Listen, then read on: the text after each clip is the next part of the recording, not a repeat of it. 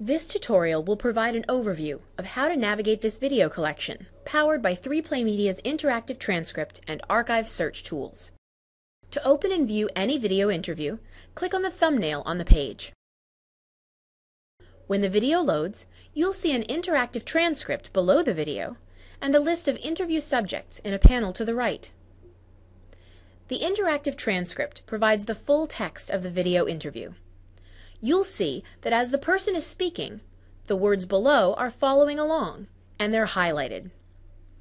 Each word is also a link to that specific point within the video. At the top of the transcript is a search window, which allows you to search all of the spoken content in the video by keyword. When you type a word in, then click Search, small dots will appear in the timeline above. You can hover over a dot to get some of the surrounding context, and then click on it to jump to that part of the video. The panel on the right offers the ability to play and search any of the other videos in the collection without going back to the main page.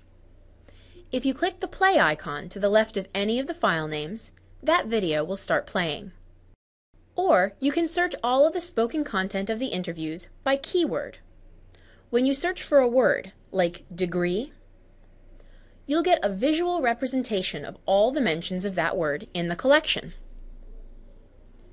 The horizontal bar represents the timeline of a particular video, and the red notches represent appearances of the keyword within that timeline.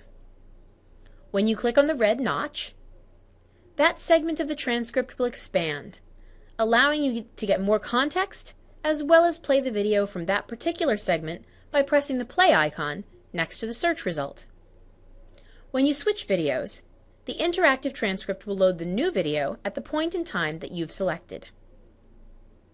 Sometimes there will be multiple pages of search results, which you can navigate through at the top. You can also go back to the complete list of files by clicking All Files.